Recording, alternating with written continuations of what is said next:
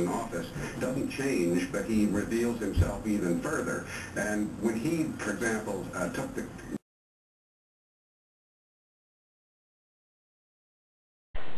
Hi.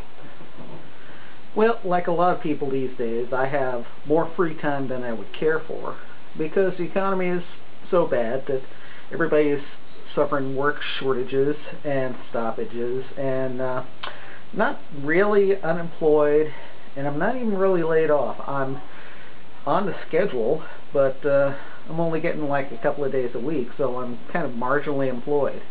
And I'm kind of coming real face to face with the reality that I may just have to go out and get a new job.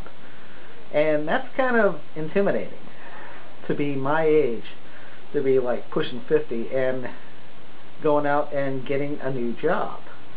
To the idea of being the new guy at, at, at the workplace is not something that I'm really happy about. But, you know, these are the things that we have to do. Just because it's the nature of what's going on and we have to persevere and we have to keep moving forward. And speaking of which, my next video is going to be my 100th video. And I've been giving a lot of thought to what I should do because I wanted to be something memorable. I wanted to be something dramatic. I wanted to be something that's going to have an impact. And the more I thought about it, the more I realized there's only one thing that I can do and it kind of intermeshes with the whole looking for a new job and making all sorts of interesting lifestyle changes. So that should actually give you a clue as to what's going on.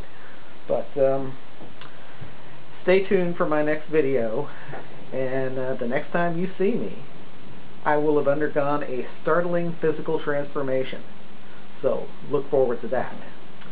I hope you're all doing well.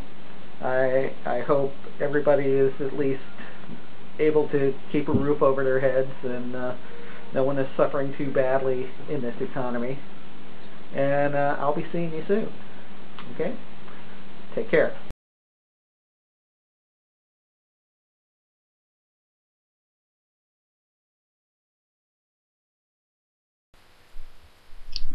Okay, this is just silly.